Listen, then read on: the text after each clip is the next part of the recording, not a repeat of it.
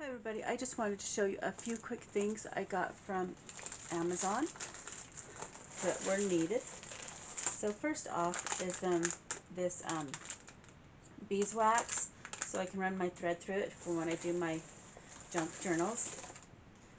And then the next thing was from my husband with my gift card. It's um, a circle punch and it's a one and a half inch one. And I tried it out and it works really well.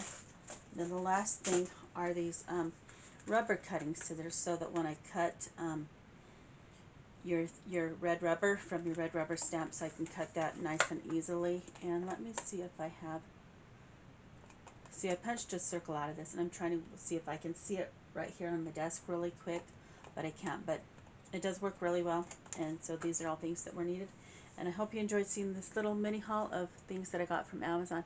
You have a good day and you yes you are so very kind. Bye bye